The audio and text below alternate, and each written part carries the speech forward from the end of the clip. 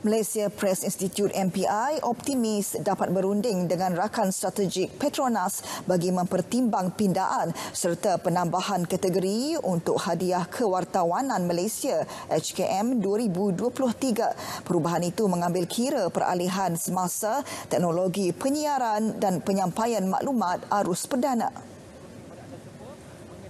Buat masa ini, 18 kategori yang disenaraikan dimonopoli hadiah untuk kewartawanan cetak dan portal. Hanya tiga kategori diperuntuk bagi kewartawanan televisyen dan satu untuk radio mengenai Malam Wartawan Malaysia 20. Jadi insya-Allah bila kita berunding semula dengan Petronas tu kita akan cuba untuk uh, mewujudkan kategori-kategori yang menggambarkan landscape kewartawanan semasa.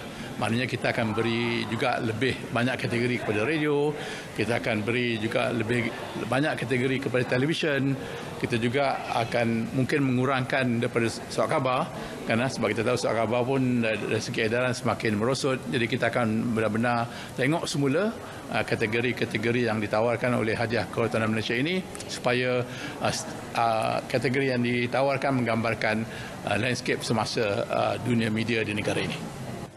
Hadiah Kewartawanan. Hadiah Kewartawanan Malaysia HKM buat pertama kalinya diperkenal 42 tahun lalu pada tahun 1980.